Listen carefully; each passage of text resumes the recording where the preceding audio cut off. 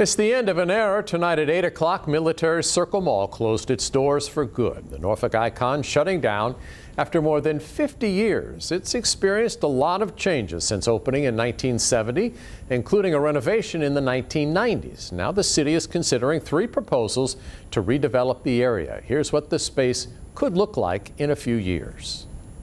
The first proposal comes from Crossroads Partnership by local developer Stephen Ballard.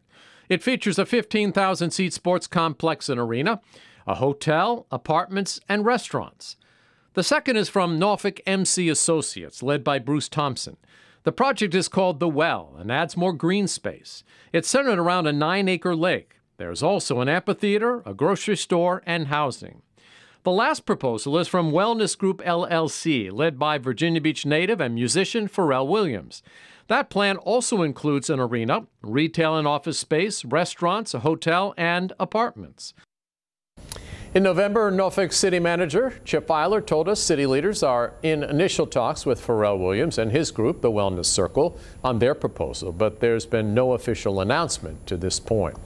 Military Circle isn't the only mall to see big changes. In case you missed it, last week we learned the MacArthur Center is up for sale.